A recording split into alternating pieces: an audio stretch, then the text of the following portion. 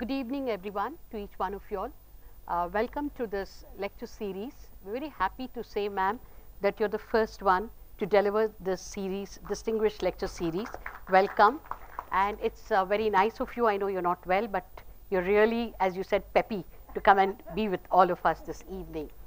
Uh, I would like to thank all of you all to join here. Without much ado, I would like to request Mr. Gurucharan, Director of Public Affairs Center to kindly come and welcome everyone and conduct the introduction. Sir. Dr. Ravindra, Chairman of uh, Public Affairs Center, Dr.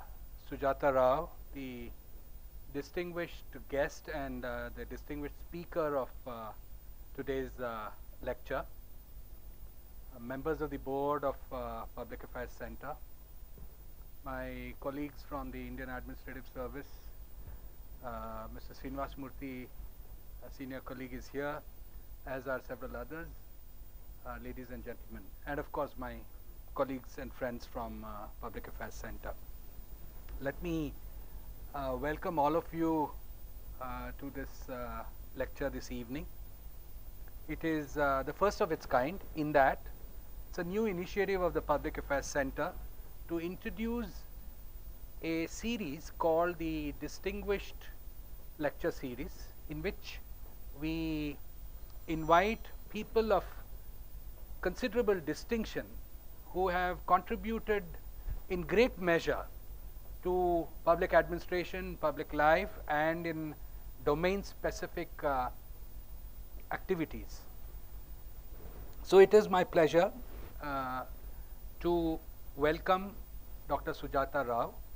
There is really no more distinguished civil servant, certainly one who has served public health uh, as uh, Dr. Sujatha Rao. Uh, she has been an exemplary leader in public health and it is therefore an honor for us, ma'am, at PAC to have you deliver the inaugural lecture of the PAC Distinguished Speakers Series. So a very warm uh, welcome to Dr. Sujatha Rao.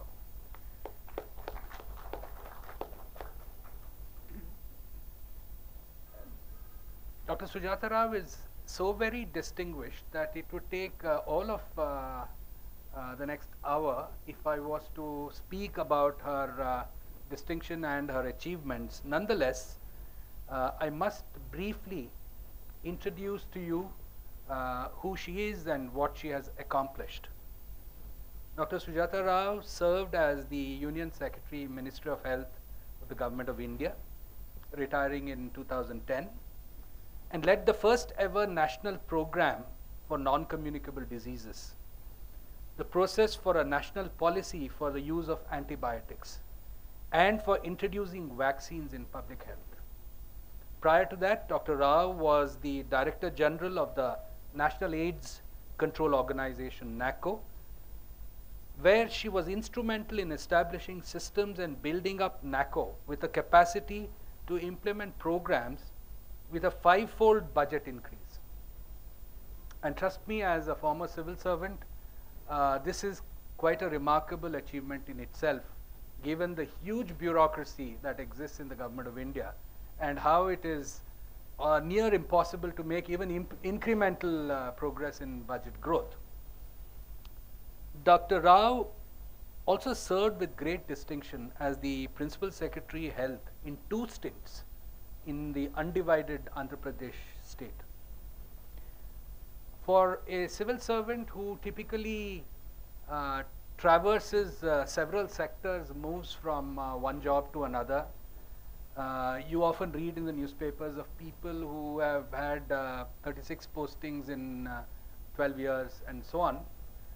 It is no small distinction that Dr. Rao has served for 20 years out of her 36 years in the civil service in the health sector a unique distinction that gives her both the expertise and the experience to make her uh, our distinguished speaker of today.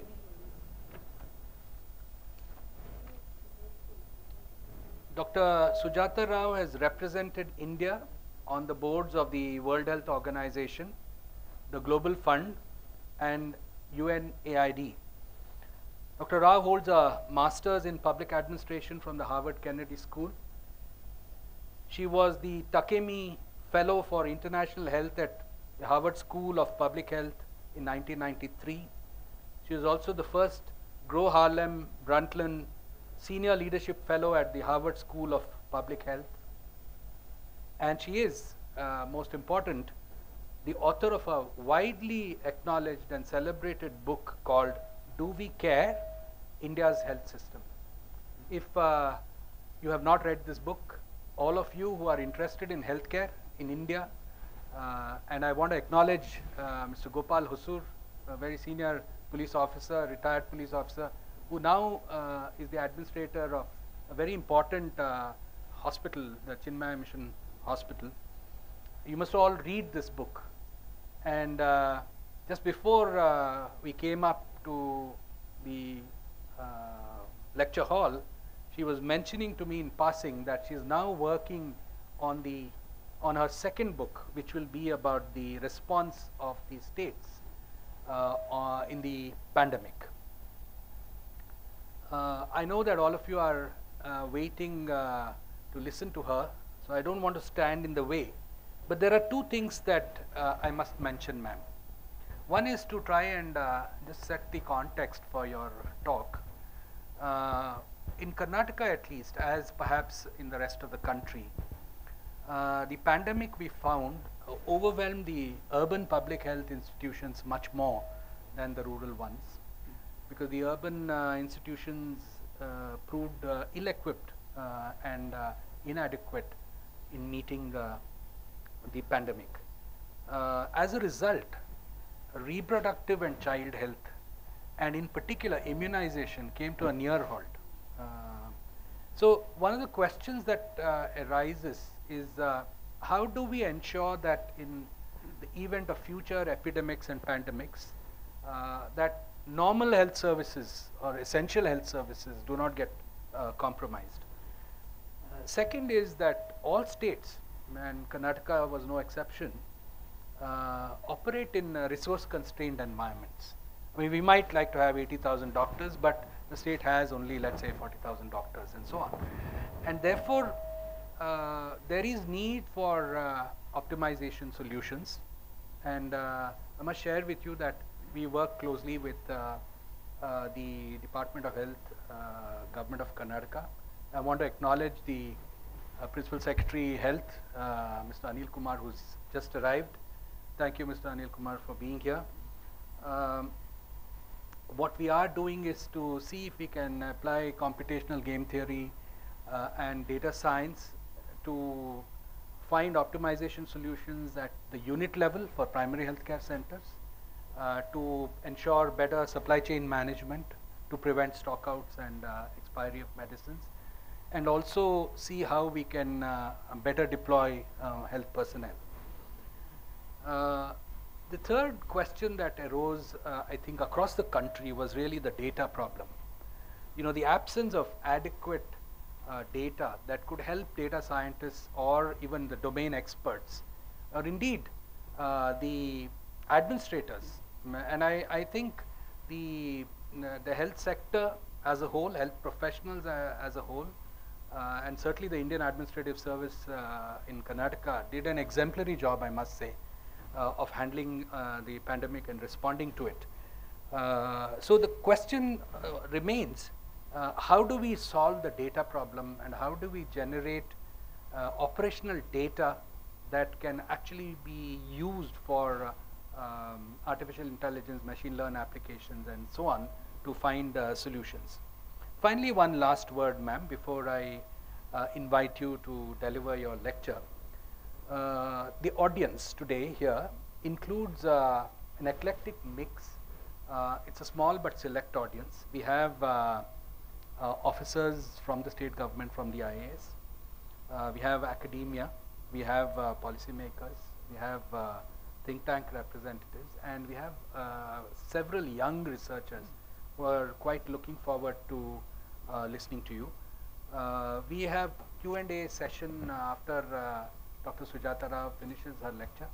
And I would encourage you to ask as many questions as mm, you might think necessary because uh, if you have uh, seen some of her earlier engagements and uh, you know her interaction at the Harvard Kennedy School or the uh, other uh, institutions that she has given talks at, the experience has been that the more questions that were asked, the greater the benefit that was drawn from her expertise and experience.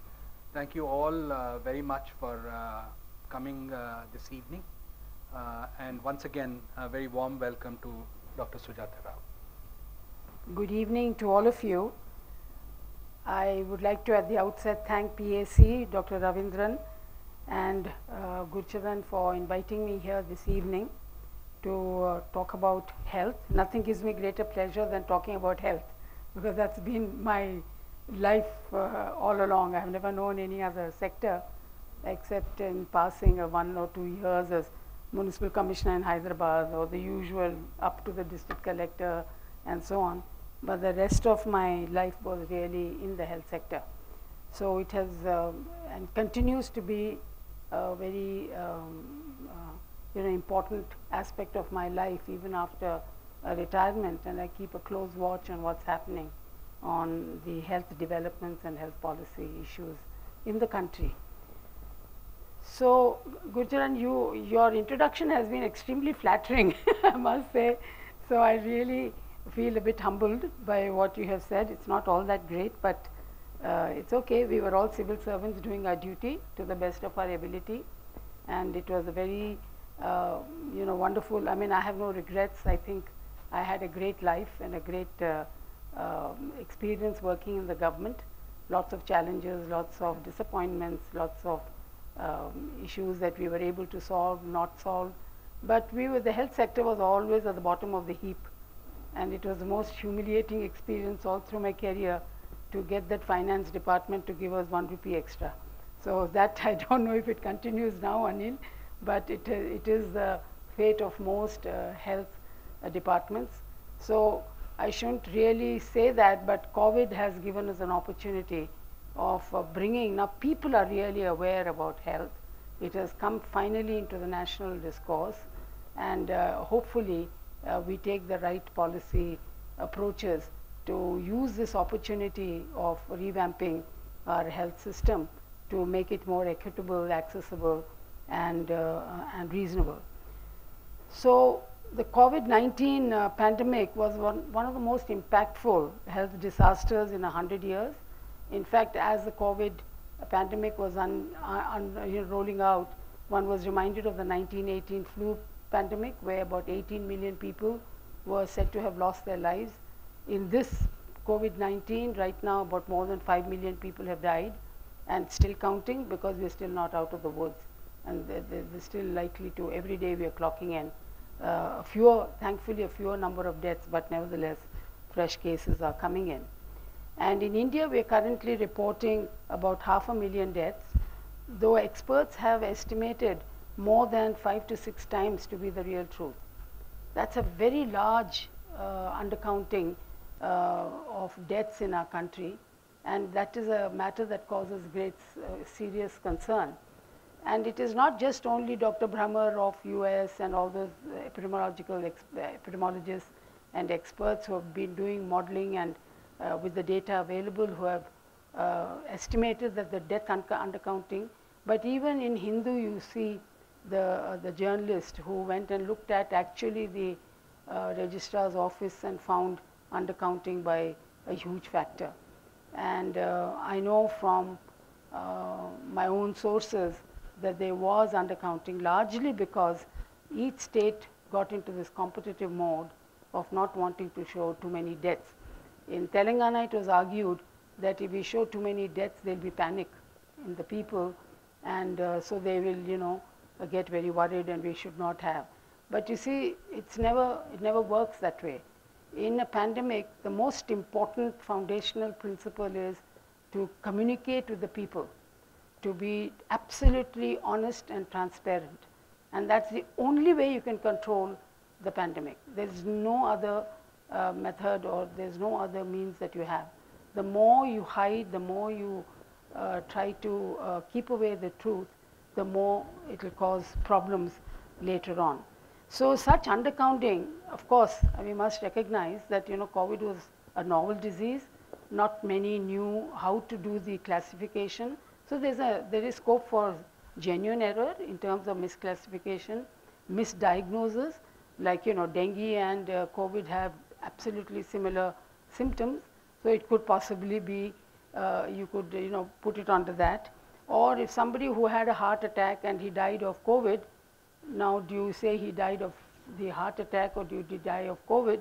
So there were some genuine uh, issues which you know states like Tamil Nadu and I think even Karnataka has been trying to recorrect by looking at the records and I think once the COVID settles down, a lot more analysis will be done to come up with the correct figures.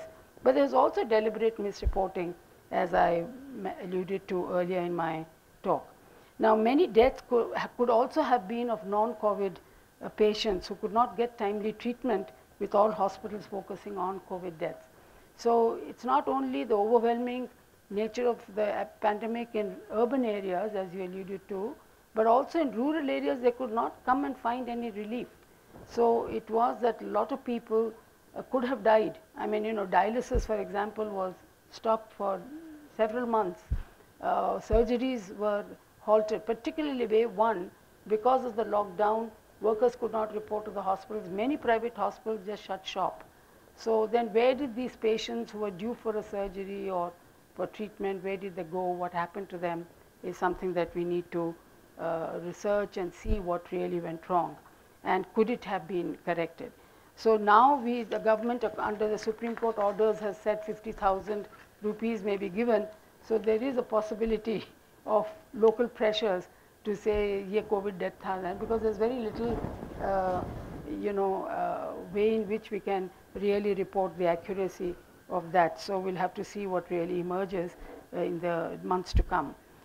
Now reliable data on real-time basis is the critical aspect of pandemic management as I said and basic epidemiological and clinical information of where, when, age, gender, nature or severity of pre and post morbidity and mortality ought to have been routinely made available to everyone.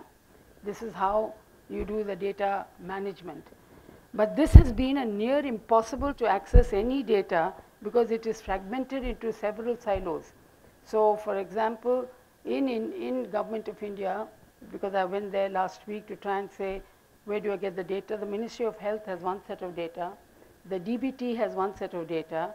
The ICMR has one set of data. Then I asked Niti Aayog, VK Paul, are you not coordinating all this? Who's coordinating these three different streams? Because it's not only a question of the data that we're putting out, how many positive, how many recovered, how many died. That's, that's the simple baby stuff. What is more important is the age group, the gender, the locality, uh, of what morbidities. I mean, that is what leads you to better understanding of the nature of the uh, uh, virus, uh, the circulation of the virus and its impact on the lives of people. So they said there's, it's very different, difficult because nobody wants to part with the data.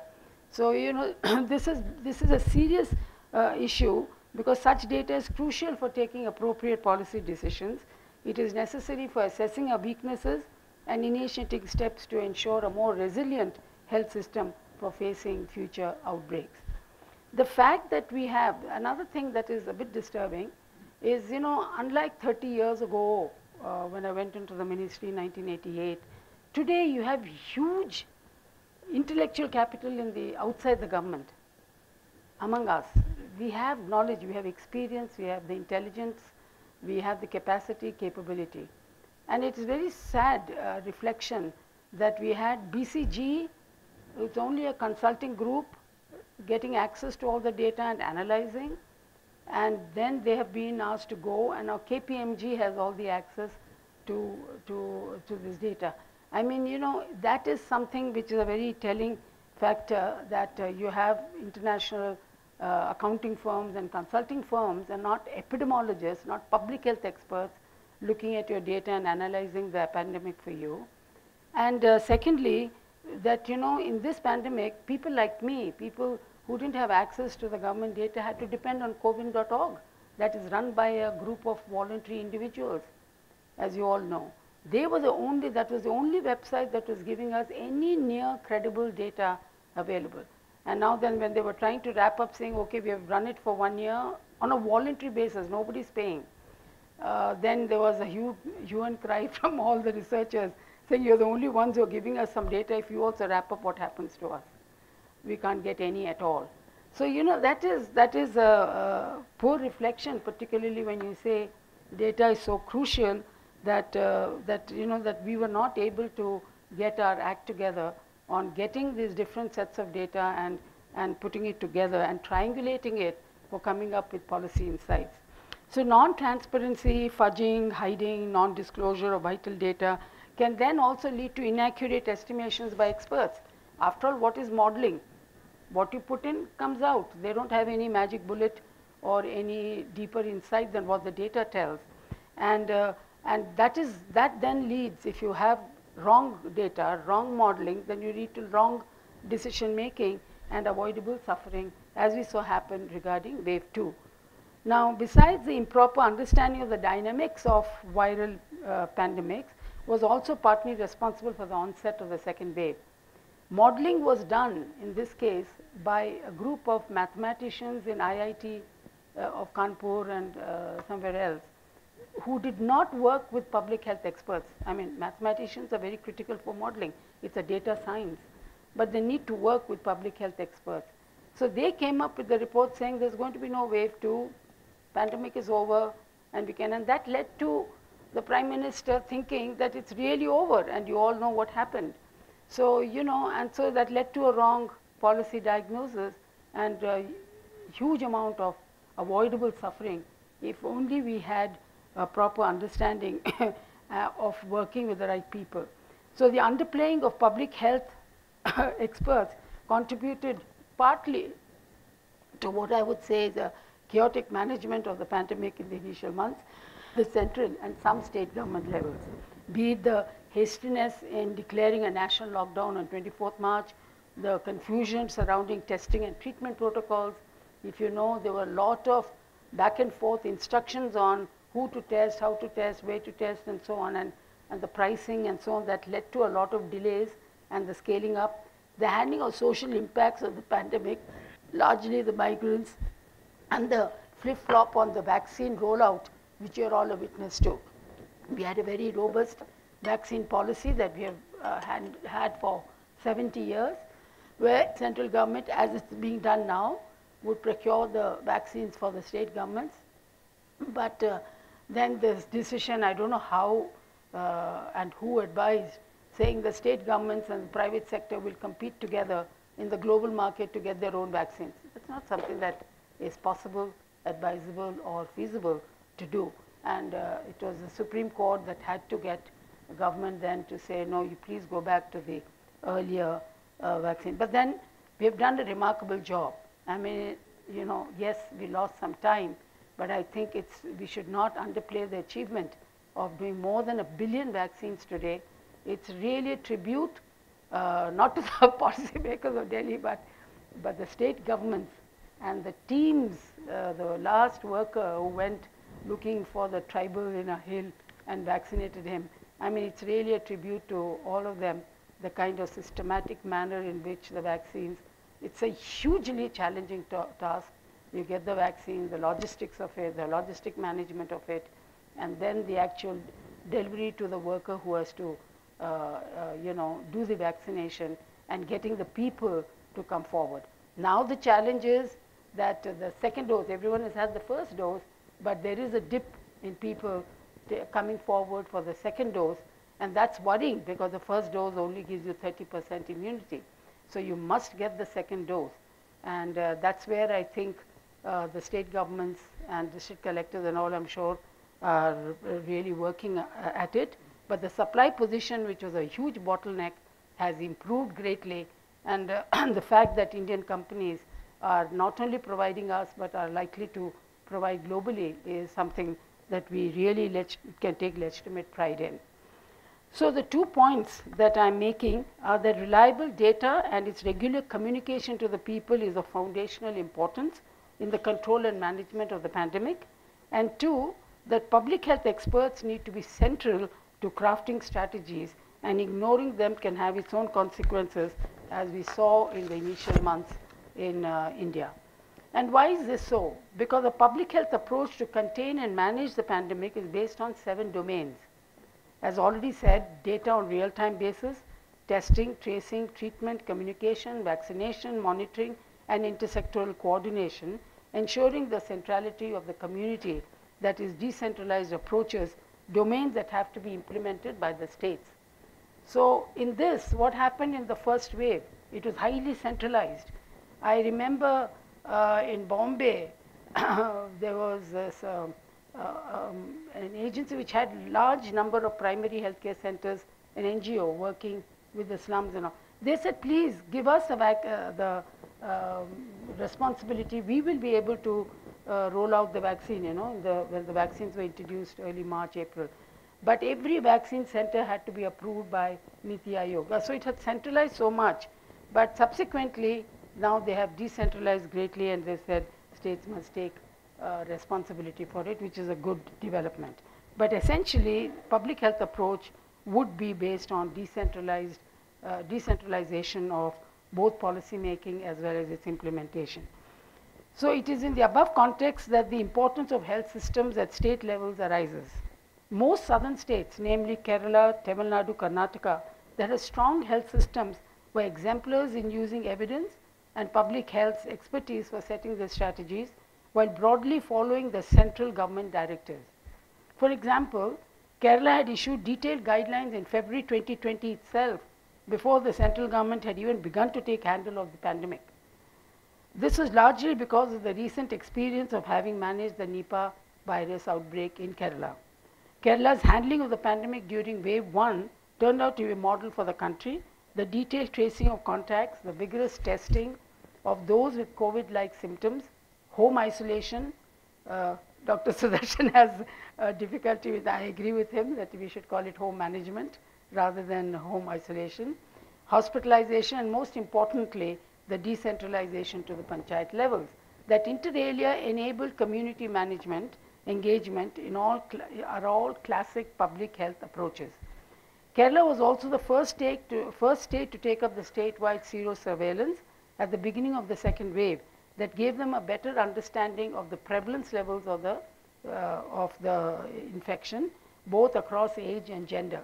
so the surveillance showed that young youngsters above 18 to 45 had a prevalence level of 11 percent equivalent to those who are above 45. So then that lent, along with other states also who came up in the meantime with their own data, if you remember in second wave, a lot of youngsters were dying.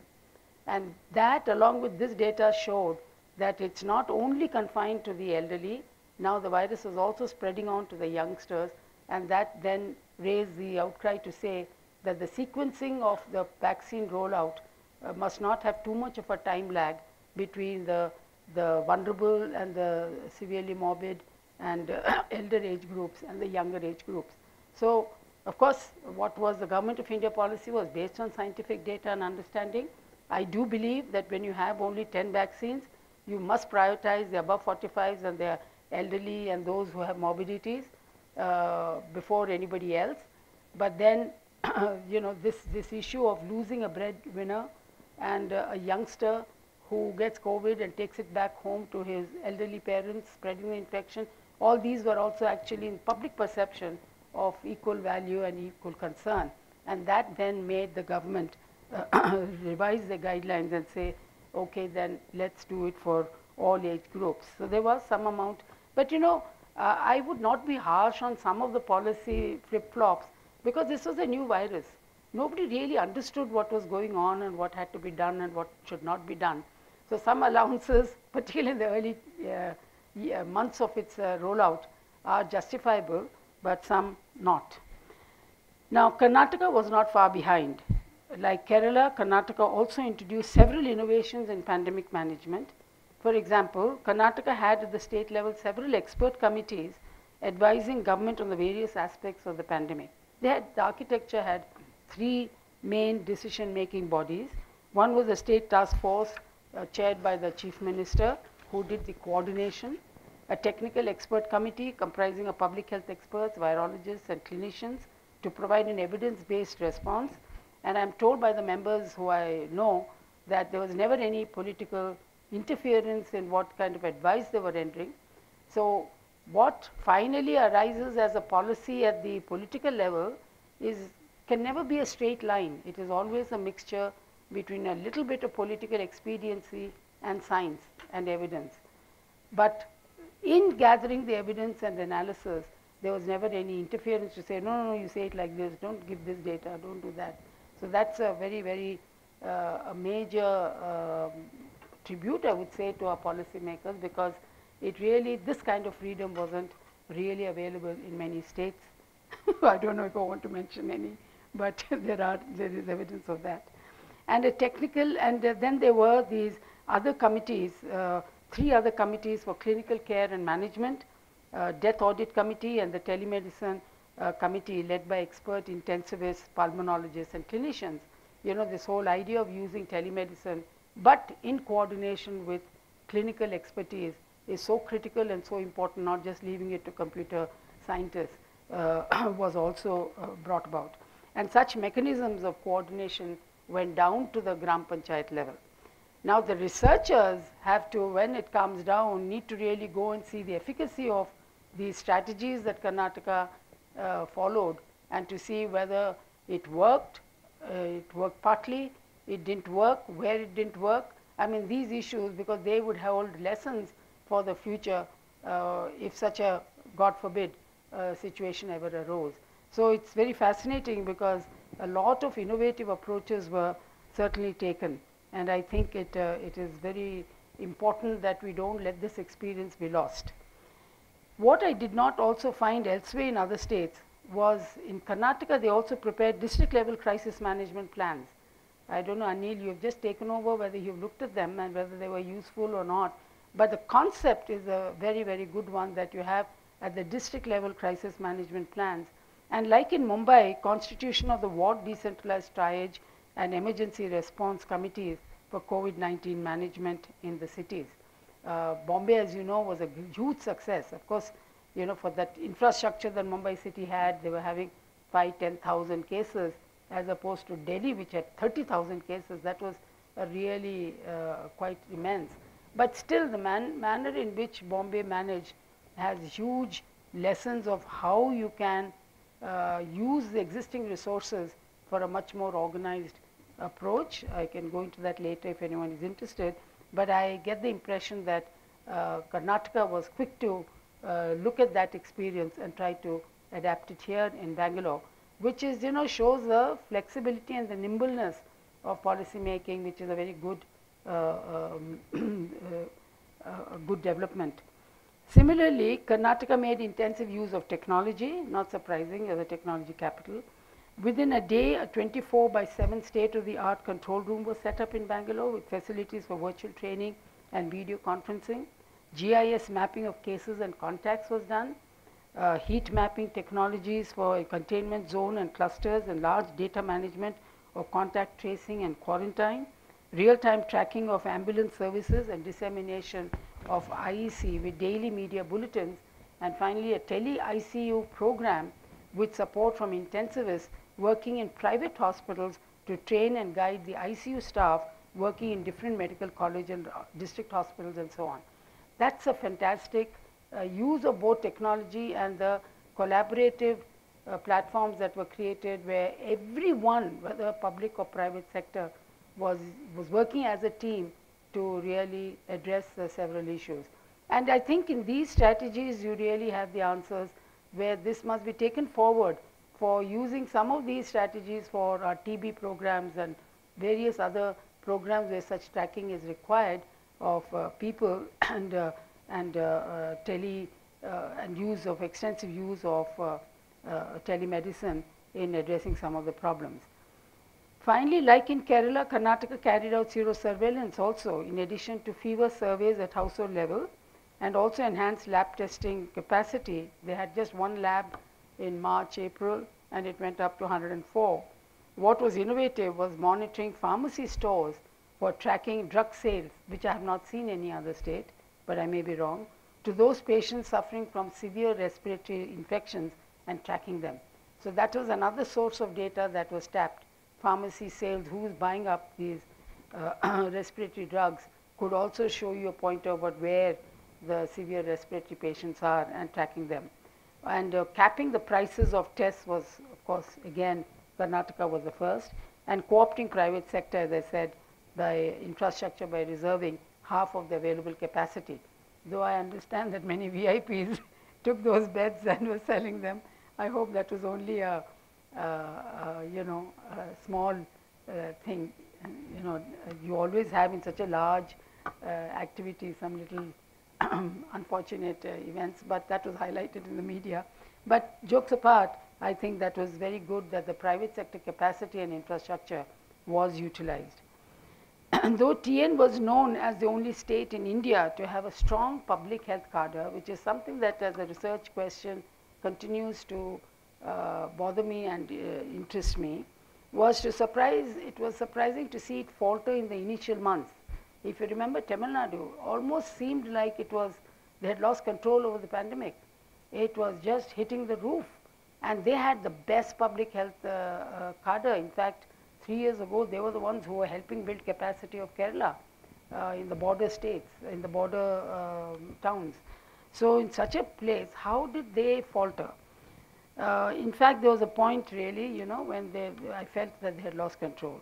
But that situation was reversed within no time. So what happens is when you have a strong health system, such um, uh, reverses, I mean, such kind of situations can be immediately reversed, provided that the political system provides the right leadership. And that's what they did.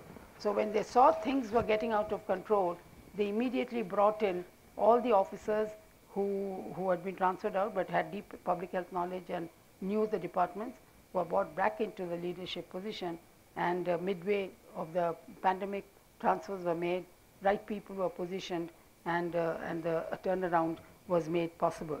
But that was also possible because the system itself had innate resilience and strength. Thus, from a situation where TN also had just one or two laboratories, today it has more than 146. And to your question of medical supplies, I think TNMSC is the most remarkable uh, example of uh, procurement of drugs and vaccines and all that. They've done remarkable work and it would be worthwhile a visit to go and study how Tamil Nadu has been doing. And that model was then taken to UP, which has done well. It was taken to Rajasthan, which has also done very well. So I think uh, that, that uh, TNMSC is something, a model that everyone needs to emulate. So a common thread in all these well-performing states was that they followed the public health approaches of testing, tracing, containing and treating. They decentralized the implementation and control the trajectory by having control over data and close monitoring. That was the secret. So thus what we learned from the above is that the pandemic created a crisis like never before, forcing us to innovate. In the process, state health systems have been strengthened by extensive use of technology, reiterate the importance of decentralized approaches, and more importantly, working across sectors and strengthening the laboratory network. These are the four outcomes of, uh, of our uh, pandemic management in terms of strengthening the health systems. But the pandemic also exposed the gaps that need to be prioritized and urgently addressed. Now, resources are finite. Public spending in India has never been more than 1.15% of GDP on health. It's a real shame. We are, the, we are one of the 15 countries that spend so low on, on health. And uh, we've been talking about increasing it to 2.53% for God knows, I mean 20 years. Over 60% of health spending continues to be by households. On account of such low spending, the public health infrastructure has been weak. We all witnessed the inadequacies in the health infrastructure that delayed the scaling up of testing and later during wave 2 loss of lives for want of oxygen and a bed. I mean, I used to be petrified during wave 2 if anyone called me and said, can't you get me a bed? You were the union health secretary and I can't. It was so difficult because my colleagues in the in Nirman Bhavan said, ask me anything, madam, but not a bed. You know, so you, it was really, uh, uh, I think many of you must have also faced a lot of loss. I lost a lot of friends, a lot of my friends lost their family members. It was terrible. The pandemic revealed yet another weakness Poorly equipped public hospitals at the district and regional levels resulted in the bunching of patients to cities and private hospitals, adding to their already stressed out household budgets. You remember, they had lost their jobs, MSME was tanking, and on top of that, they were forced to go looking for a bed and oxygen in cities and big hospitals. Failure to have a policy underwriting such expenditures led to massive spending on treatment that one has estimated to be over 65,000 crores. That is an estimate, of course, that needs to be, uh, won't be difficult, it won't be difficult to uh, see the reasonableness of it, but 65,000 crores of money when the entire economy was tanking to be spent on basic health care, which is really the duty of the government. And that was spent. I mean, you can imagine the impoverishment if anyone were to do um, the surveys, the NSSO surveys to be allowed to be carried out. I think the, data that will come will be very devastating. Some states like AP, I mean, that's a tribute to Jagan, that, uh, you know, he said no one suffering from COVID will pay a rupee, whether he's rich or poor.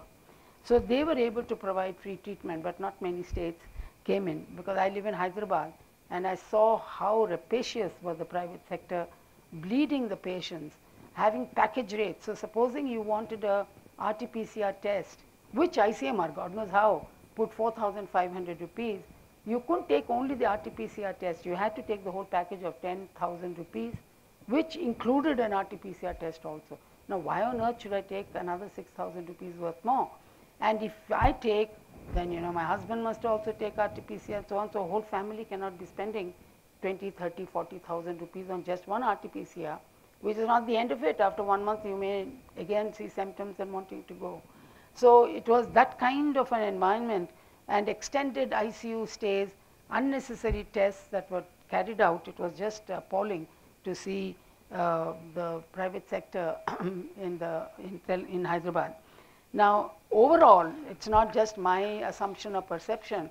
Overall data shows that it's the pharma vaccine companies and pharma industries and private corporate hospitals and not only corporate but private hospitals that have a CAGR of 22 percent. Normally it is 15 percent.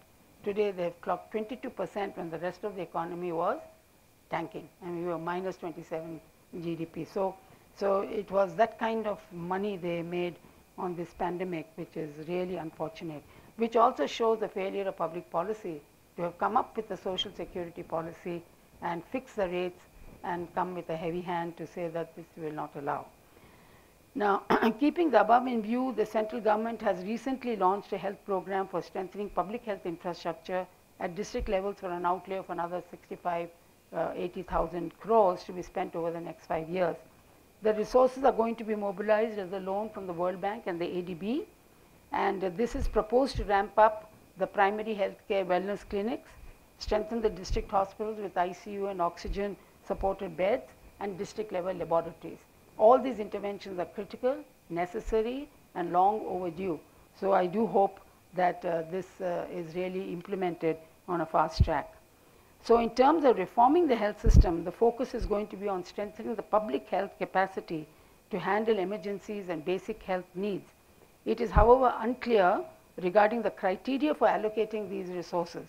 It is vital that evidence and not partisan politic, political considerations be the basis so as not to lose this opportunity to equalize state capacities since inequality in access was the one issue that came out starkly during the pandemic.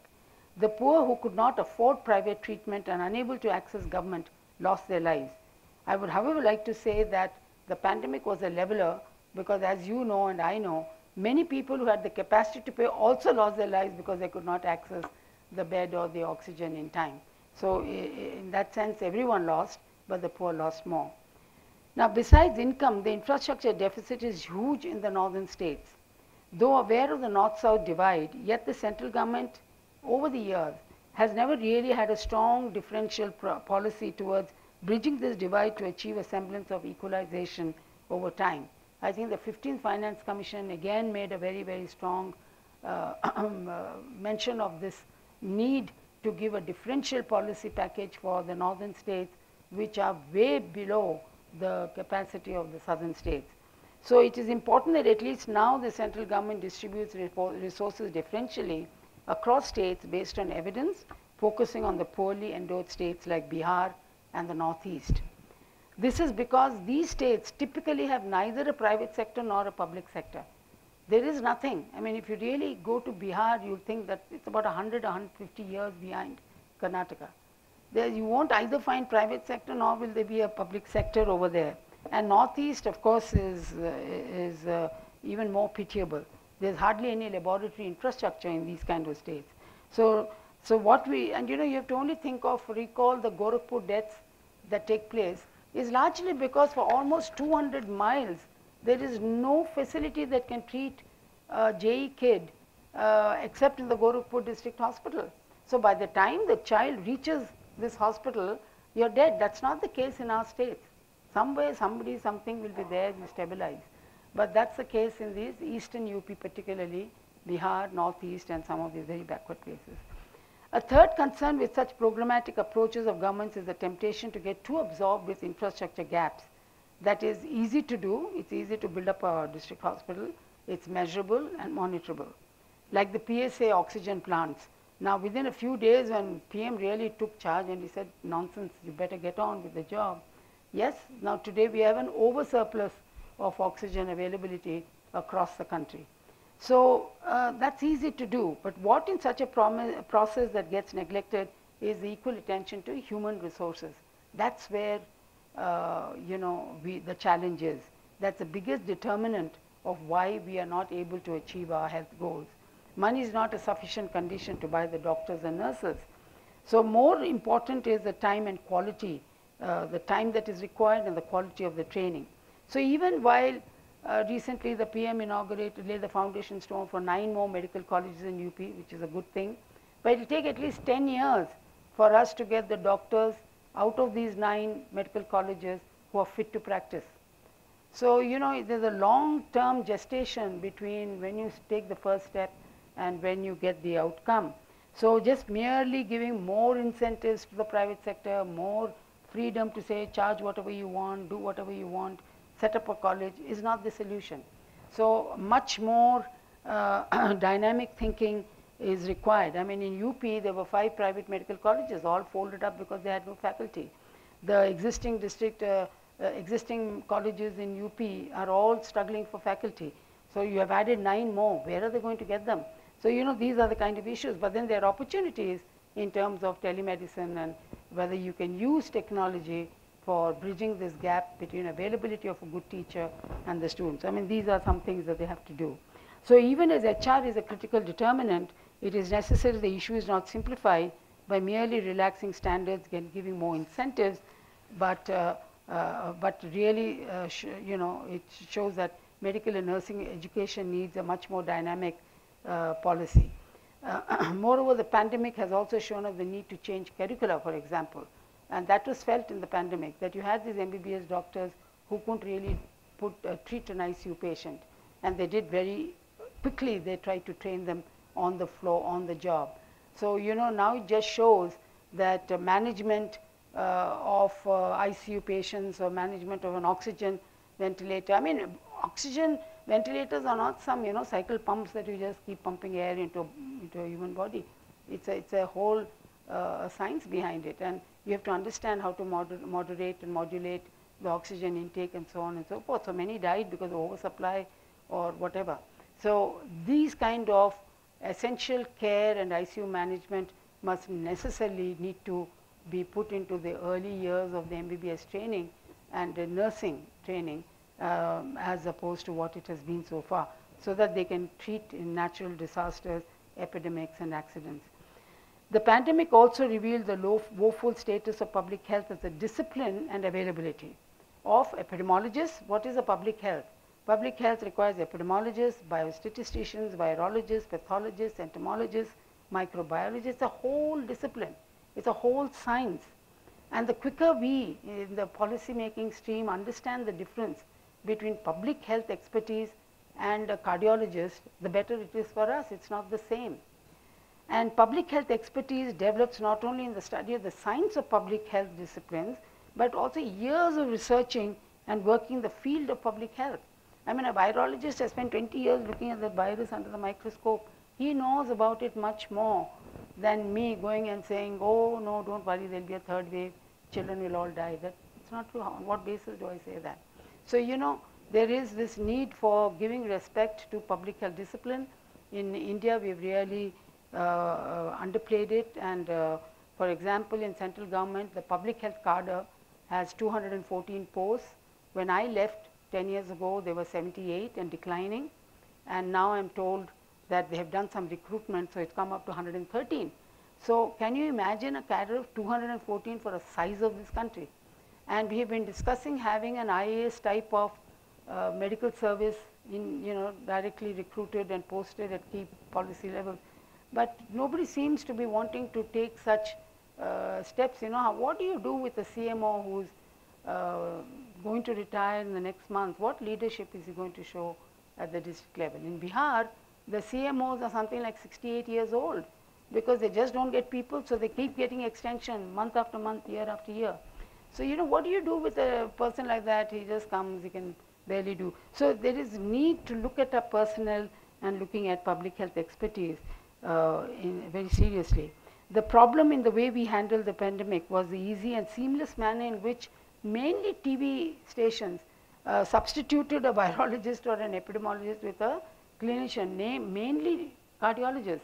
I mean, there was Dr. Trehan, there was all these cardiologists giving uh, estimations, giving a whole lot of information. And since there was no credible public information coming, many people believed in what they said and so they scramble for using CT scan as a diagnostic tool. They scramble for buying remdesivir at any cost because of all these TV discussions that clinicians were kind of giving without necessarily looking at the literature. And WHO had brought out very clearly that, that uh, uh, hydrochloroquine and uh, uh, remdesivir were useless in its impact.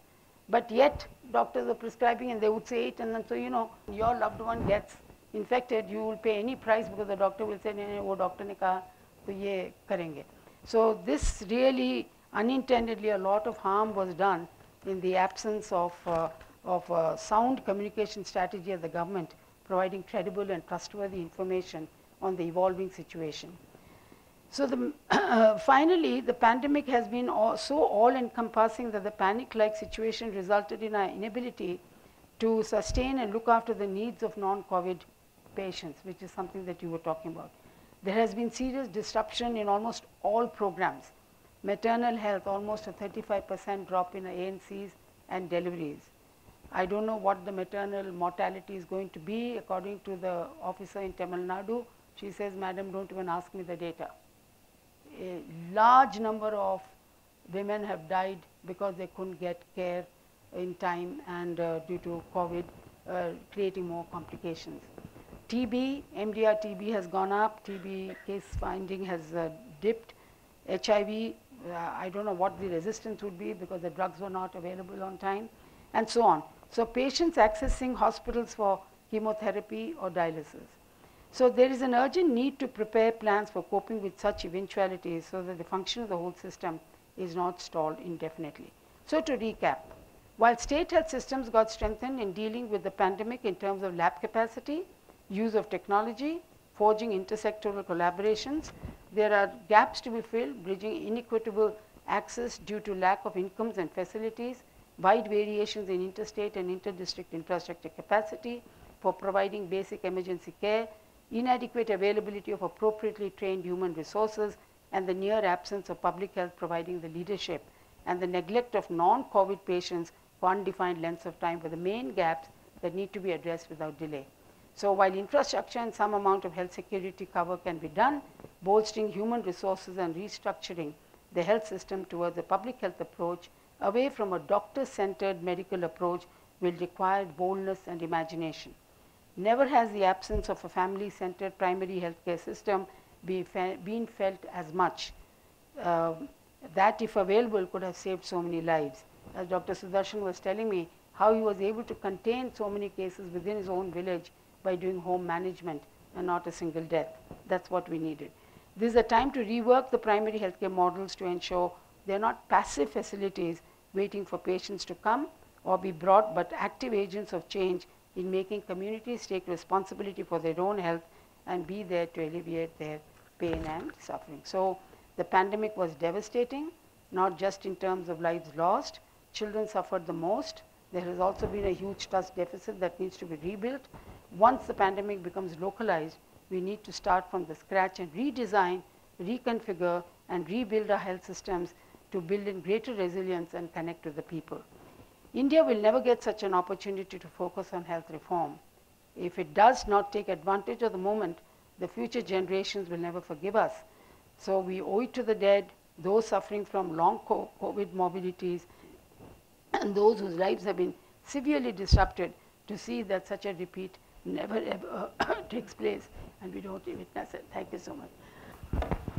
But before that, let me thank ma'am for this excellent uh, uh, talk, open our ideas to many more things that we thought we knew.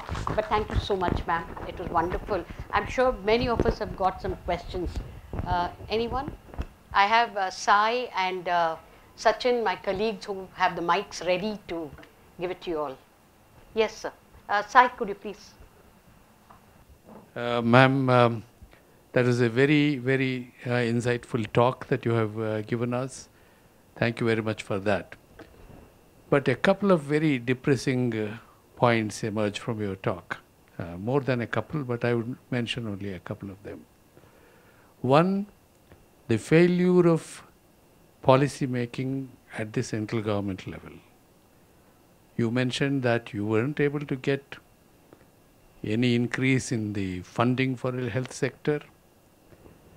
And uh, what is it?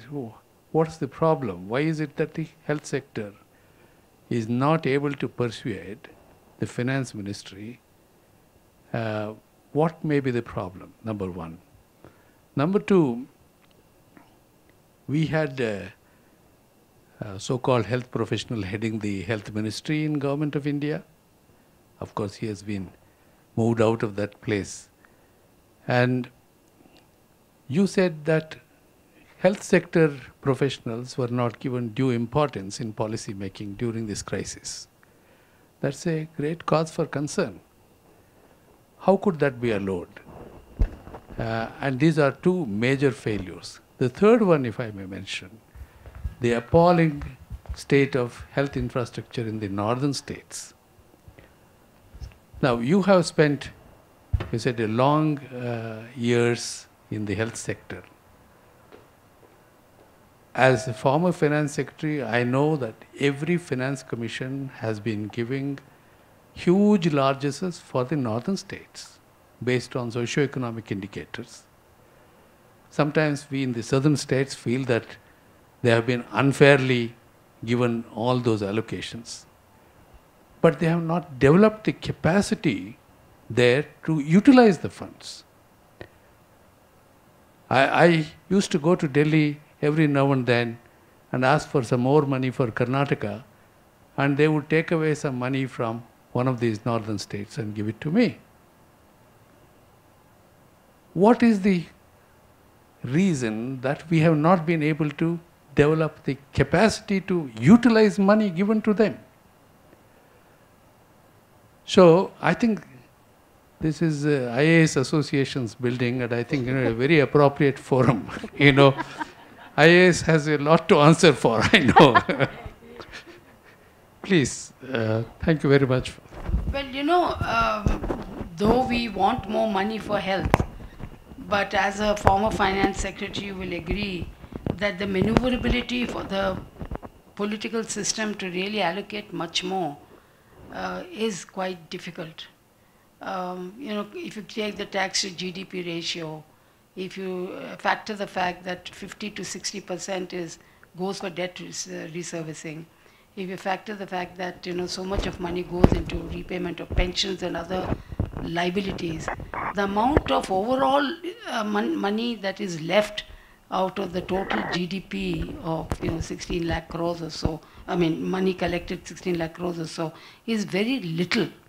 Um, and in that they have competing demands. Education is equally important. They have not, despite right to education, they have not really been able to meet the targets of 6% which they said they would give. It's still somewhere between 3-4%. and uh, so also education, and then there's so other things.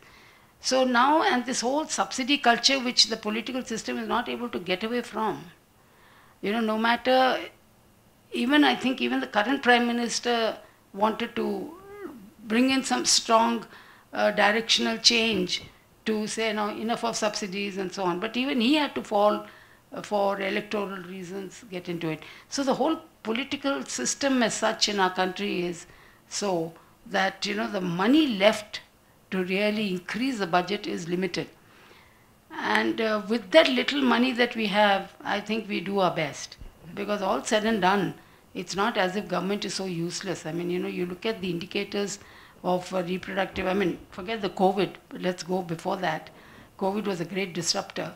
But, you know, in maternal mortality, in terms of infant mortality, in terms of child mortality, uh, we have done extremely, exceedingly well. These are key indicators and proxies for, uh, for further, uh, for the, you know, well functioning of a health system. TB, we really had the ambition that by 2025 we are going to eliminate it, and we were reaching that goal if but for this COVID. So there has been uh, some directions um, and uh, vaccines today, over six diseases that we had, now it's 14 diseases that we are providing free vaccine to the country. We do some 40 million eye surgeries free of cost. Which other country in the world provides this kind of thing? But then it's not enough. I mean, you know, and uh, so now that they're taking this World Bank loan and all that, I hope it does. That is one part of the uh, situation. The second is there is definitely an ideological push to privatize. There is definitely an ideological push to allow the private sector the freedom to charge what they want and which results in commercialization of health. I'm afraid uh, whatever you might, you know, agree or not, but health has so many market failures that state intervention is absolutely critical to keep a balance. And uh, you cannot have, uh, uh, even in United States, they spend 18% of GDP on health, 9% is public spending. So even in a totally capitalist country like United States, half of the money is picked up under the Medicare and Medicaid. They cannot leave it to the market. But here the thrust is more and more towards it. I mean, I, I get so frightened every time Mr. Amitabh Kant comes out with a new scheme. District hospitals give it to private sector, this one give it to private sector. And, and uh, you know, so that is a very uh, major ideological situation which needs to be battled for allocation. After all, allocation of resources, as you know, is a political act and goes according to political preferences and understanding. So, uh, so that's my reply to that. Um, but you know, when you have, but at the same time, in NACO, my experience has been when I came up with an evidence-based plan, I got 5%, it was $500 million, I got $2.5 billion outlay from the same government. And till to date, despite all the economic challenges, fiscal challenges, they have not cut so much on the NACO budget uh, as, you know, so treatment is now universally free under, uh, under NACO for the HIV AIDS patients. Not many countries provide that kind of second line and third line drugs free of cost. So I think uh, there are several of these issues which we need to, uh, really we have to expand the tax base. We need to mobilize more uh, taxes. I think that EDA and IT should be more busy trying to really collect the money rather than just harass every second Joe that they find on the road. So there are so many of those kind of reforms that need to uh, do. But steadily it is increasing, but we are still, uh, states are supposed to spend 8% of the revenue budgets on health. They're an average of 4%. So there's a doubling that is required of the state budgets. Sorry, I forgot your other two questions.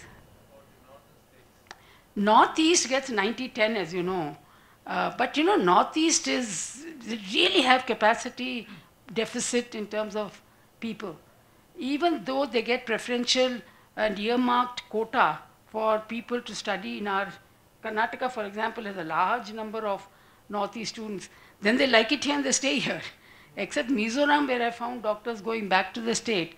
In most other, because it's all so volatile, so much of law and order, so much of uh, the, the entire situation is so um, you know, difficult in the Northeast that uh, they, they really lack capacity. They really have a problem of doctors and nurses. So the strategies in such states need to be shifted from being doctor-centric to be more towards nurses because they make excellent nurses.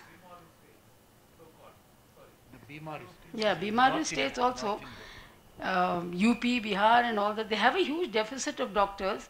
They have something like one doctor to 20,000, whereas Karnataka has, I think, one to uh, 1,000 or so. So that is the gap between a UP and a Karnataka. Uh, none of your uh, students here will go and work in UP. Uh, you know, so there has to be an environment also that you need to uh, create for somebody to come outside. We are willing to go and work in Zimbabwe, but we won't go and work in UP. But then the public policy has to be, I mean, uh, more uh, give security to the doctors saying you come and work here and we will give you similar status. That is not happening. So uh, they're still caught up with their caste and this and that, and you know the problems in the north are just impossible to deal. Madam, uh, thank you for a very insightful uh, talk on uh, reforming the health systems. I am from the police background, but now heading a hospital. That's very good. So now after beating up people, you're treating them.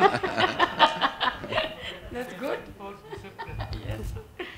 I, I think you gave an insight into the complexities of the health systems in India. But I thought there is a similar situation in more developed countries across the world. Some, some countries which are far ahead of us in health systems, during this pandemic, they also went through the same process. India's uh, complexity is much huge compared to them. Would you not give credit to what the people and the government and the society did during this period? See, we normally compare with US. The US health system has virtually no primary care. They are a very hospital-centric uh, medical system and they have been for the last 10 years very strongly trying to convert and bring back primary health care into their, uh, uh, their health design largely because surveys in US have shown very demonstratively that almost 30% of hospitalization can be averted if you have a strong primary health care. 30% of cardiac cases can be stabilized without having, you know, this kind of uh, data that has, uh, or stabilizing hypertension or mental health and so on and so forth. So, so US is now trying to work on this. But the factors that we need to remember why UK and US in UK, they never allowed the GP system to function. Italy and Spain had so many deaths early because they had 80 year olds and 90 year olds and so on. Except Kerala, which has a, slight uh, demographic uh, you know, trend towards the older age groups. In Madhya Pradesh, the average age lifespan is 58 years. So, you know, the, the, that, that makes a huge difference between mortality and this. But I do believe you can't compare apples and oranges we should compare and say, did we do as well as Sri Lanka? Did we do as well as Vietnam? Did we do as well as Thailand? Because they are similar countries. They are comparable to India's health system. Or even China. Of course, China is a different cup of tea altogether. Uh, but you can't compare to US or compare to that because demographically there is such a huge uh, shift. And Sri Lanka has done brilliant work. There's no doubt. So you know, as I tried to say, there were some mistakes made, but I think we need to recognize the mistakes and uh, try and see that we develop policies. That kind of thing is not there in our country. Constantly praising ourselves, it doesn't, uh, it shows an inferiority complex of sorts, you know. Instead of saying, sorry, we made, that's how America would go, or as you know, other countries, they say, we made a mistake here, what happened? And they quickly change. The nimbleness of US CDC or something to acknowledge a mistake made and correct it is almost simultaneous. You think that's possible here? Community, I mean, do you believe that we don't have community spread of the infection in this country? The definition of a community spread means even if one case, one, only one case you identify and you are not able to trace from where he got that infection is equal to community spread according to WHO. And till to date, the government of India says we never had community spread. Now, when you don't accept that, just because the perception will be that you lost control, you didn't do well, and all that, your strategies will be faulty. And that's why, I mean, the loss of lives, you know, it's easy for us to say we've done such great work, but the point is how many people unnecessarily died? It's not acceptable. My name is Dr. Suresh. I worked for government of Karnataka for 20 years and then UNICEF for long. This is my 54 year in public health. Madam, I have, while I'll compliment you with a very comprehensive presentation, there are basically I want two clarification. One, you stressed on the public health or epidemiologist group of people. What is preventing, either at the national level or at the state level? For example, today, India produces every year at least 1,000 epidemiologists with either MPH or MD. Most of them are getting into the medical colleges to teach the same theory which they are learned repeatedly. Karnataka produces today 200 epidemiologists every year. We have three MPH schools, but unfortunately these people do not get into the task which they are trained to do. That is one. How do we change this milieu where the decision makers recognize there is a human resource which need to be put in appropriate use. Second thing, we also talked of a, one of the disaster which did, was done at the national level was NCDC, which was knowing surveillance and all connected activities of tracking epidemics or pandemics, was put aside and ICMR was brought in suddenly, who you know very well, having worked in Delhi, I have worked there for 30 years. Their research is built in that four walls. So these changes, how can we change? I am not commenting on why it happened, all that is something. Is there a rational way of reforming where we consider the right person occupying right chairs? You already brought out a neonatologist handling planning commission, a pediatrician talking of vaccination and all those things, fine. Gastroenterhepatologist looking at actions, all those are individual based that we cannot change. In every system, I think these will come into picture. Basically, those two queries, how can we say an established organization given responsibility at the right time? Second is, when there is a resource being developed in the country, how do you channelize them in the mainstream? See, the issue is that I don't think public health is valued at all in our country. Anil is here, he can tell us. We don't value public health. We are so starstruck by these great champions of health, the clinical doctors, you know, that we get mesmerized by, by their glory. So we don't, we don't have a Fauci. Why not? And that's something that each one of us should ask ourselves. Why don't we have a Fauci? Who the hell gives the right to some of them, I'm not naming them, to say that wave 3 will come and children are going to be affected most and that has led to keeping schools closed and affecting so many children's lives? Is there any accountability? Has anyone pulled up and said, where's your data? On what evidence are you basing this nonsense? And the TV uh, just puts it out and that becomes oracle of truth. So you see, I mean, when, when you have a system which doesn't respect NCDC, NCDC has beautiful data, but they were never allowed to open their mouth. Now, you know, why meaning? Make Anil the Prime Minister, he will set them right. what else can I say? I mean, I, I don't necessarily, you know, blame a PM or a HM or something. It's a system. Uh, uh, that did it and why these unfortunate decisions were taken. According to you, because both two of you are sitting on there with the health department experience, is there a way to change that scene? So personalized, you know. I mean, if I was health secretary, for example, I would not have allowed this. I would have been kicked out next morning. but the point is that, you know, I think there were a lot of egos, individual individuals wanting to get the, you know, I think that was it. I don't see.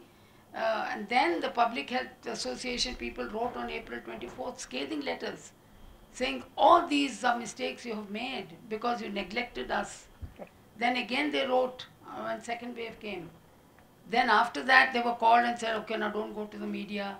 See, it's always perception management, not saying include and uh, get, as I'm telling you, data you can't get in Government of India, it's in DBT, it's ICMR and it is Um, so why it has happened is the is the jasusi I'm going to do for my book. So if I get the tru- truth, I'll tell you, Dr. Suresh. See, I try to. I try to get a lot of it. I have published about 10 articles in the last six months on COVID related activities. Very rarely you get any transparent data. Even our own directorate, where I work for 20 years, it's difficult to get data. But there's such a India Bharat divide, no, in our country. Not only health, but it's okay. In some, we are world class, world class. I mean, your Narayan Hrudayalaya, Ramaiah, all these are world class institutions. But uh, the ground level, uh, children still die. We have 8 lakh children dying of diarrhea. So that, how can you, zero deaths in China due, due to diarrhea. So the political system accepts it and doesn't feel ashamed that, you know, 8 lakh children in our country are dying of diarrhea. What is, wha- I mean, no, not intent. I mean, now finally health has come into the dialogue. I think civil society and Some, some of our young colleagues wanted to ask some questions here. Sukruti.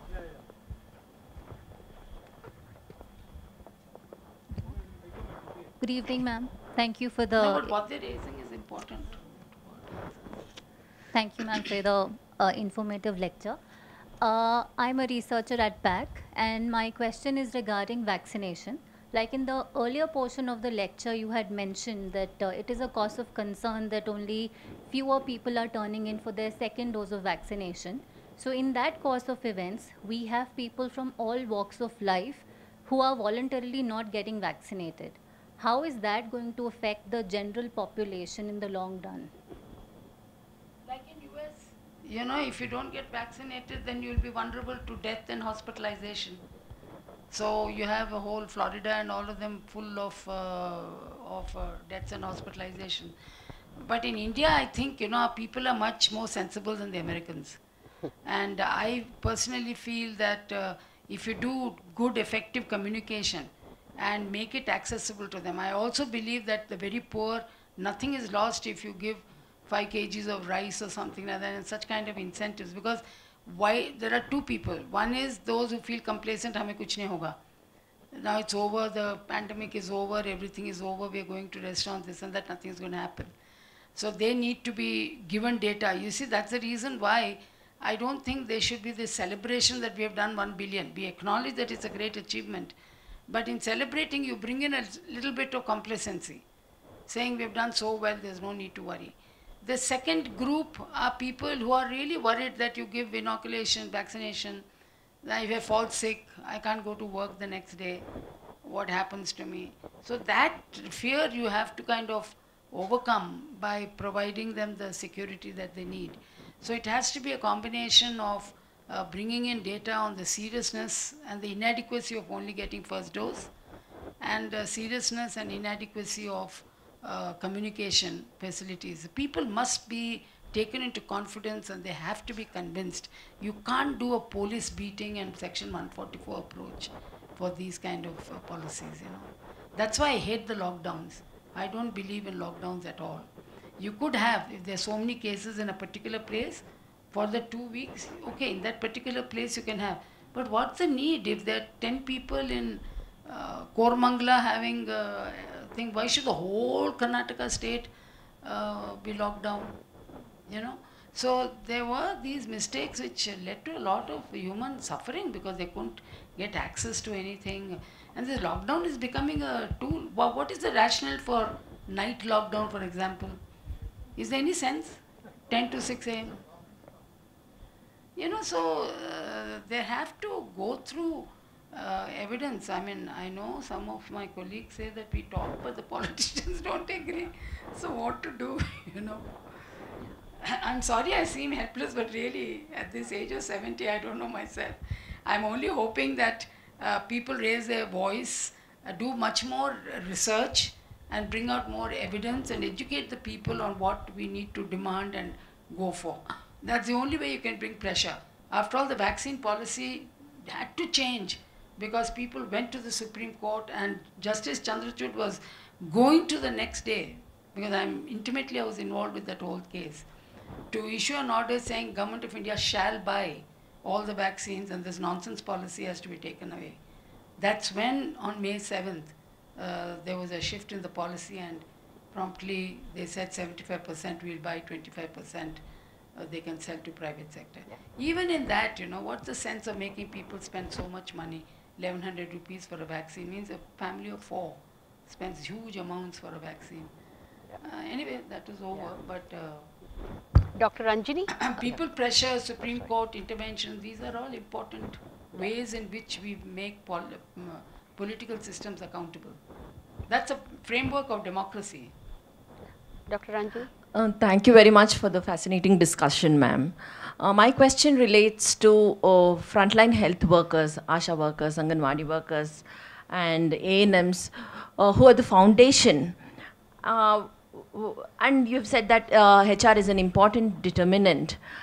How do you think uh, their work conditions and also about uh, their regularization of their jobs uh, in, in the near future. Uh, they, they did so much, more than just clapping and uh, banging uh, on plates. They need much more. They, they need better work conditions, incentives. Uh, I would like to know your thoughts on that, ma'am. See, there has been this constant debate uh, in Nirman Bhavan. It was there when I was there, it continues now. Is whether Asha is really a, and Dr. Sudarshan is the best person to answer. Is uh, civil society kept saying that there should be a community worker with community oversight on the on the worker. In other words, rightly speaking, the budget for Asha should have been given to the community. They assess what work she is doing and all that and remunerate her services was one line of thinking and constant training and investing because she is a community worker she is a community voice she is not the last paid uh, health worker of the health system but there's the other viewpoint treating asha as uh, a lower ANM, if you might say, an assistant to the ANM and a government employee. So accountable to the to the director health or accountable to the PHC doctor, not accountable to the community. So there's a difference in the way in which ASHA was conceived and was uh, uh, done. So government of India always opposed this concept of giving salaries to uh, ASHAs because once you make them a salaried employee, then they will just behave like everybody else, like the multipurpose workers, ANMs coming and going and so on, and won't be accountable for the services they're providing the community. That said, I mean, I think they have done a remarkable job uh, and they need to be remunerated fairly. Now, in Andhra Pradesh, they are getting 10,000 rupees a month. But is that affordable? Is that possible? After all, we just have this much of the money, you know. Uh, can we afford to pay a million people uh, these funds? So it's, it's a constant debate back and forth.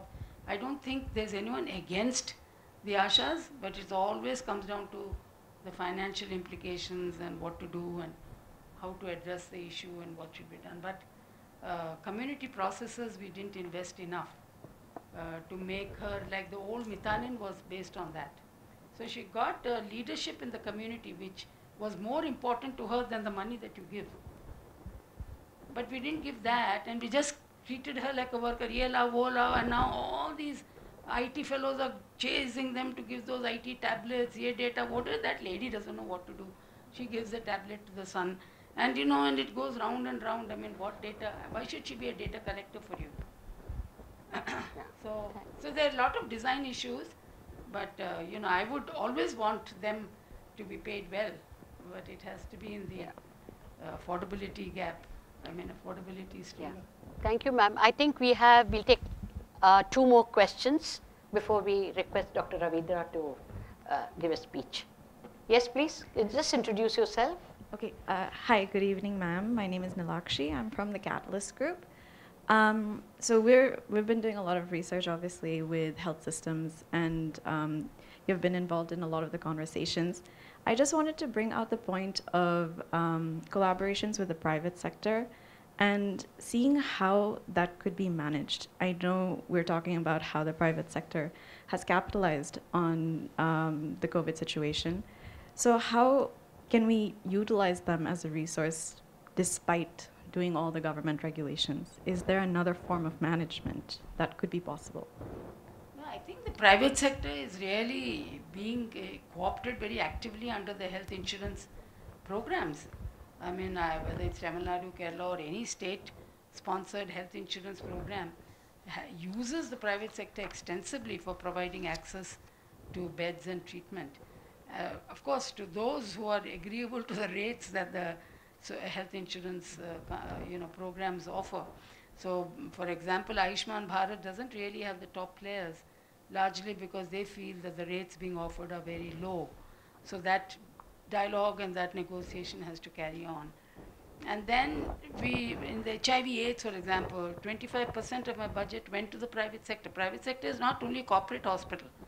Private sector is anyone who's not on the consolidated front of the government uh, withdrawing salaries. So remunerations, everything comes out of uh, the budget. So, you know, in TB program, in all these programs, we involve civil society. We have been involving Uh, uh, small, medium hospitals to do the work in the field and so on. Our angst comes with the corporate sector, which, you know, has 80% or 75% of the technology and the specialists to treat the non-communicable diseases that require treatment. So that, like Tamil Nadu has a target that we want a 50% market share in the public space, 50% private. So they're not against the private, but they want to be providing equal competition so that the rates of the private sector are under control. See, all said and done in a city like Delhi, you remove AIIMS, RMLs of the Safdarjung, your Apollos and Maxes will just take you for a ride. But today, because there's the public sector hospitals providing equally good, they may deny that we're providing rubbish. It's not true because you don't have deaths coming out every minute. Or same thing in Karnataka too. You know, your Jaya, Jaya hospital, Jayadeva hospital and all are uh, extremely good. I mean, they're as good as anyone else. Tamil Nadu, they'll give a run for their money to the private sector. So they should be allowed the space, and I do believe that it has to be a competitive environment. Why should the private sector get the monopoly? They don't work in a health sector which has so many market failures. So government has to do, and Tamil Nadu has it as a policy. So they monitor in neurology what's the market share, how many patients are coming. Only 30%. So where, where do we have to, in, in, you know, improve, increase to make it 50%? What more do we have to do like that? Not many states do that, but that has to be the approach. But just going on giving incentives and saying now you take away our district hospitals, you set up, it's not possible. The whole model of the private sector, to my understanding, is so flawed that uh, not possible to work this PPP and all that. At the higher level, at the civil society level and all that, yes, of course. Thank you, ma'am. I think we'll take the last question. Nidhi, you wanted to ask a question, right? Yeah. Last question. Uh, good evening, I'm Nidhi. I'm a researcher at PAC. Uh, Ma'am, in your lecture, you mentioned uh, the challenge of certifying uh, the cause of death when the novel coronavirus emerged first. So, my uh, question is with regard to the reporting of uh, cause of death specifically.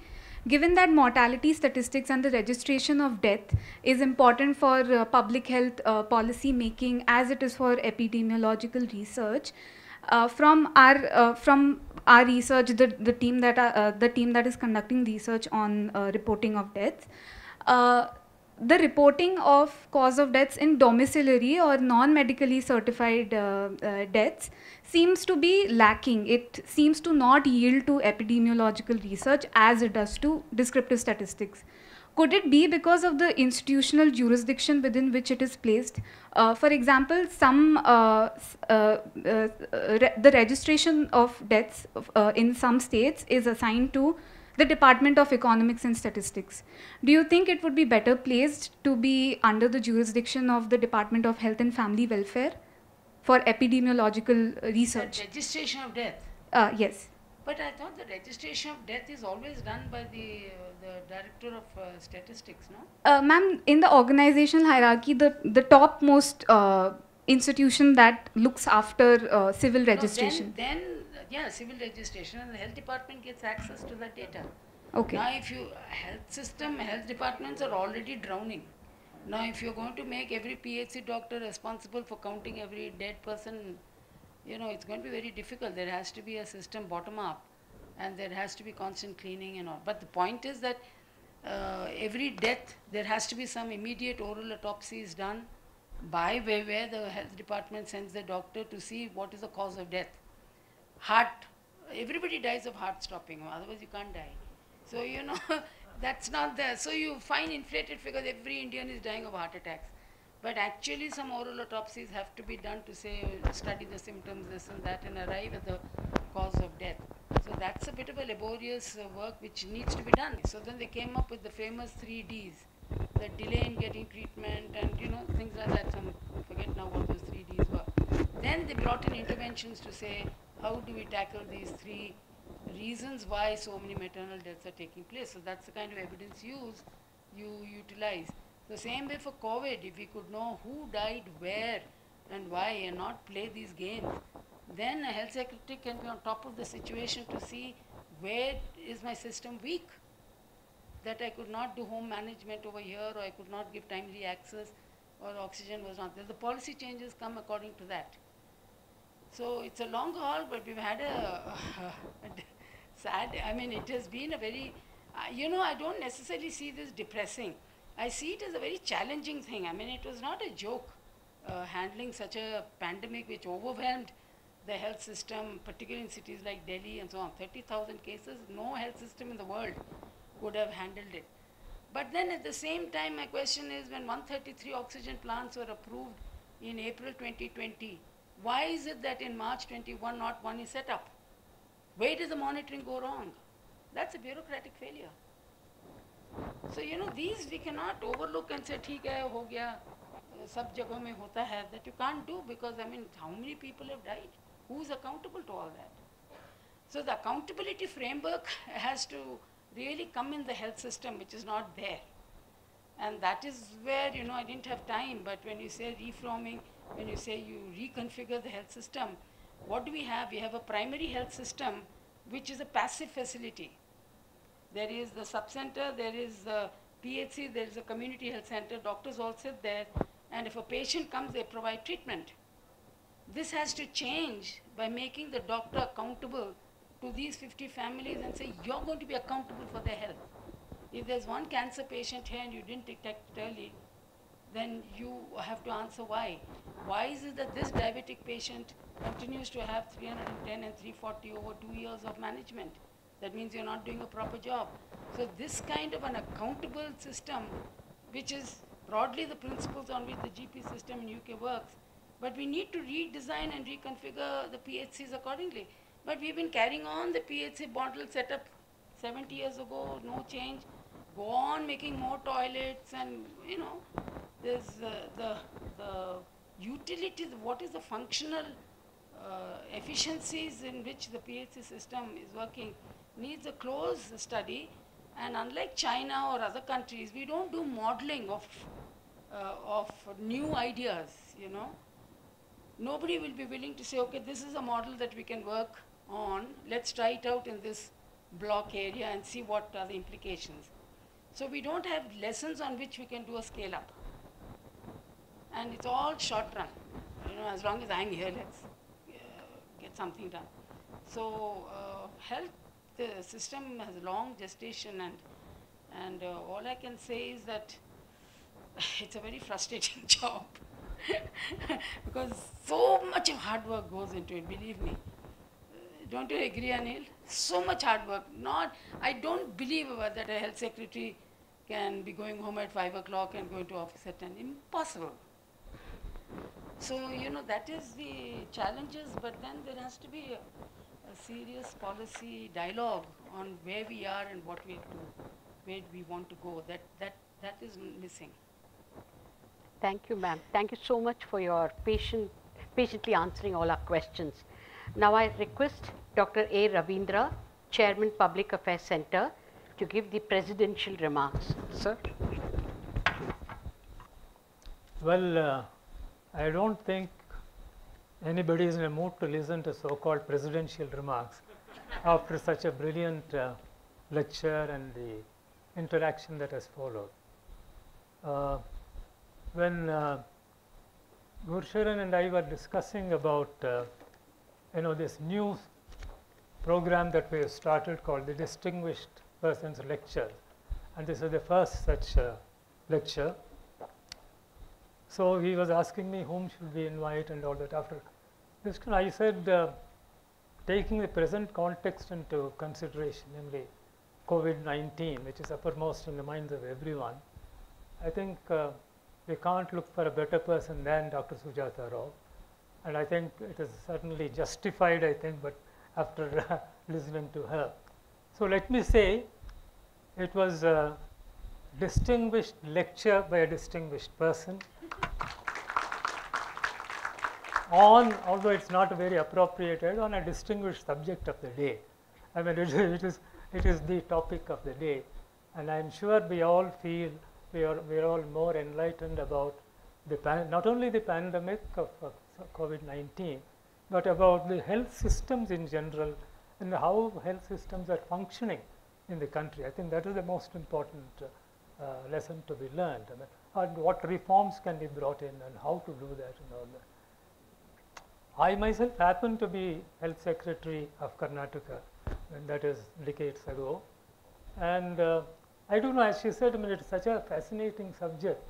I also felt, you know, that uh, when I strayed into the urban development sector and spent more time there, and now I wish that I had joined her in trying to spend more time in the health sector. That's a different question. but I think uh, overall, all the relevant issues have come out. I think uh, a couple of uh, critical issues that was uh, that are highlighted by Dr. Sujatha that number one, the importance of data. I mean, uh, how unreliable the data is even now. And for instance, the underreporting of deaths, as she mentioned, uh, from what I have been reading also, I mean, it's uh, uh, now if the correct figures are taken into account, we will be number one, not the US as it is being reported now. It, it will run into more than a couple of millions.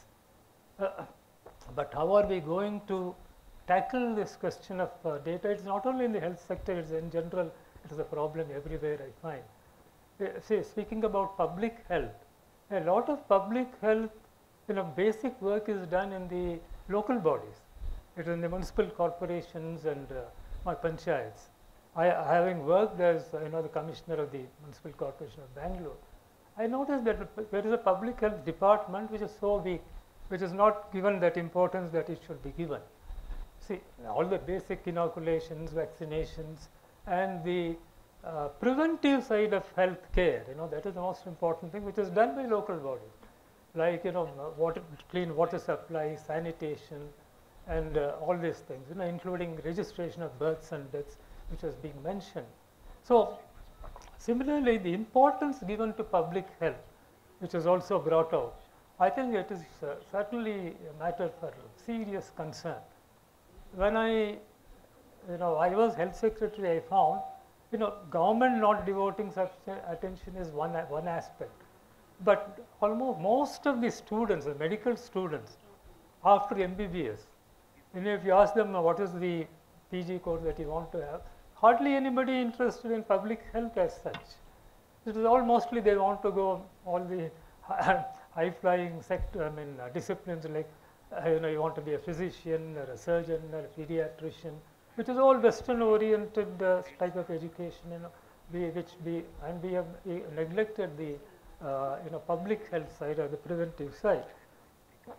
Uh, but I will not go into any other kind of details because uh, so much has been spoken already. But one major impact of I think the COVID-19 is the fact that uh, you know it is caused such immense suffering to the poor people. And according to a study by the Azim Premji University, this virus has pushed an additional 230 million people below the poverty line. Now again, you know, trying to revive all these things, you know, all those ramifications is go going to be extremely difficult. So much so, I mean, even in the speaking about, you know, public and private health care, I mean, that is which is there are a lot of questions also. Uh, I think yeah, COVID was a time when the private sector, especially the corporate sector, let us say, large number of them exploited the situation and the, that, has, that has gone on. But we, it's not to deny the contribution of the private sector. See, after all, even now, you see more, more people go to the private hospitals, just as more children are admitted to the private education institutions.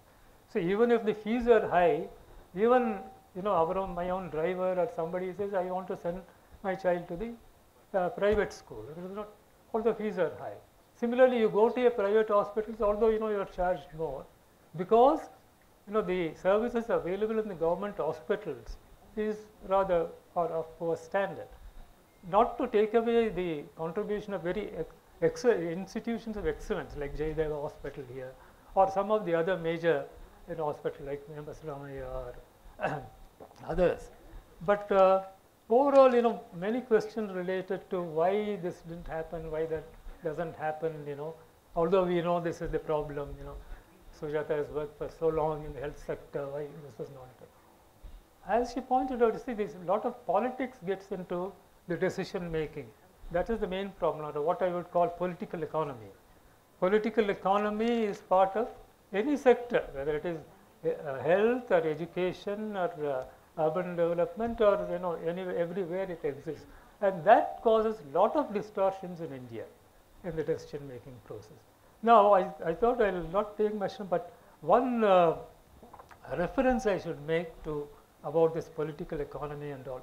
Just a couple of days back in one of the newspapers I uh, there was an interview with uh, maybe Sujatha knows him uh, one uh, Dr. Jesse Bump of the uh, who is now uh, he lectures on global health policy in the Harvard Institute of uh, Harvard School of Public Health. He had some very interesting things to say and he said, see the origin of global health is colonialism and imperialism. He goes back to that, I will not go into those details, except saying that he has said that has colored our view and knowledge of the history of vaccination. He was speaking about vaccination you know, vaccines not being made available to India, not being certain. Covaxin, for instance, till the other day we were trying to fight. Why, why has this happened? And he, he says that, you know, uh, see, this is visible, you know, uh, in the way rich nations treat the less developed countries. They have hoarded supplies for themselves while people die in record numbers themselves. Within uh, many countries elites are well protected whereas others are at grave risk and that is why he says even the IPRs you know there is a lot of politics and they don't give it and all that. This is the thing and uh, he had some very critical things to say about the high priest of uh, you know charity in the health sector Bill Gates. he says he has an outsized influence in the health sector and you know he, uh, pointed out that you know the he convinced the Oxford to abandon plans for free uh, licenses for vaccine and pursue an exclusive deal with AstraZeneca. We are talking about you know this why why not uh, we give free vaccine and all that. See this is also delayed vaccination for quite a long time and it has blocked worldwide scale up of the uh, uh, you know the production of vaccines. I mean this is so these things go on and uh, so this is perhaps the biggest problem that we are facing. Uh, that is one side. And finally, I think, uh, yeah, you see the question of manpower, I, mean, I have myself experienced it, uh, is a shortage of you know, public health specialists, professionals, and also a kind of, you know, why we need to change the entire system, as you said, PHC system has existed since ages. I mean, from when I was there four decades back and you know, it's every decade it is continuing. We are not thinking of changing the system. It is again, you know, the result of uh, political economy and that is you need champions, you need leadership, I think, whether it is at the bureaucratic level or at the political level. And sometimes single individuals do, you know, wage battle. They do fight as Sujatha would have done and many other bureaucrats, you know, they have also done. It's, uh, see, one of the uh, uh, great things that has happened is that, you know, in times of emergency, you find the same system works better. See, well, the way the bureaucrats and the even the government, let us say, they try to respond during the COVID-19, you know, when everything becomes normal again, you know, it, it declines. You, know, you forget about you know all the things that I've been talking about. So how do we sustain interest you know, in the or uh, this is a question of continuity of uh, whatever we want to do, the reforms that we want to bring in. So it is not merely knowledge of a subject, it is not merely experience. And what, as we have seen, uh, Dr. Sujatha Rao, it is the passion also that counts. So that is what is continuing, you know, after long after retirement, she is still passionate about the health sector, contributing something, you know, going here and there. And so this, this is what is uh, required and that's probably we need more and more such people in, uh, in every sector in India, particularly at the moment in the health sector. As she said, I think we have now a wonderful opportunity to bring in the health reforms and maybe the government will be in a mood to listen now. I know this is the time because it's still, it's not over. I mean, people still are talking about the possibility for third wave. We all wear masks. Still, it, it is going on. So this is the time to push in some kind of reforms and uh, especially the also deal with this market failure. So that is where we, our government also in the political economy, as I said, it is it supports the private. We do need the private sector. Without it, it's, it's not possible to deal with the health issues of such a large country. But regulation of the private sector, private market, and how can it be done? I think uh, ultimately it is the voice of the people that will count. I think we need to raise our voice, you know, all those we are talking here, but I think we should spread this, probably get together and, you know, come out more forcefully, uh, you know, about the need for such a reform with the government. You know, the will of the people I have always felt is what really wins. And uh, maybe we should take home that lesson from, from here and uh, I am sure the Public Affairs Center also will try to you know do its bit as it has already been doing. And uh, so uh, once again let me thank uh, Dr. Sujatha Rao for sparing so much time and uh, you know coming here in spite of the fact I think she had some slight uh, you know problem with her health at the last moment, but still you know she came and forgot all about her problems and gave such a wonderful talk.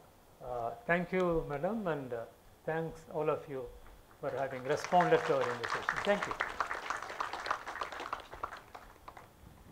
Thank you very much, sir. We come to the end of the function, and it is my honor and privilege on behalf of the Public Affairs Center to give the vote of thanks. I'm going to be very, very short. So I would like to start with thanking ma'am for a wonderful talk. And uh, I think two weeks notice we gave you. I spoke to you after Sir spoke. Thank you so much. And as Sir said, despite you not keeping well, you were really good, really good. And I think we become more knowledgeable. So as a token of appreciation from Public Affairs Center, I request my colleague Aishwarya to give you a small uh, memento. Aishwarya.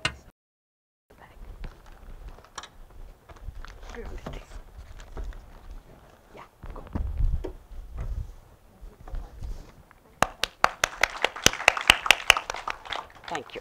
Thanks, Aishwarya. I would also like to thank our chairman, Dr. Ravindra, for actually ideating this entire event. Thank you so much, sir. PAC is always thankful to you for your guidance and for initiating such wonderful events that we are very, very happy to be part of. Thank you very much, sir. Uh, needless to say, thank you to our director, Mr. Gurucharan, uh, who's always available for us at all times and who also ensures that he is part of our group, always with us, supporting us, encouraging us, correcting us, ensuring that we do everything as best as we can. Thank you so much, sir. Uh, last but not the least, I would like to thank the media. I would also like to thank all our senior sirs, ma'ams who are here, who took time to come and be with us and make it even more an enriching uh, session. And yes, to all my colleagues, thank you so much for being there. Thank you once again to everyone. Thank you.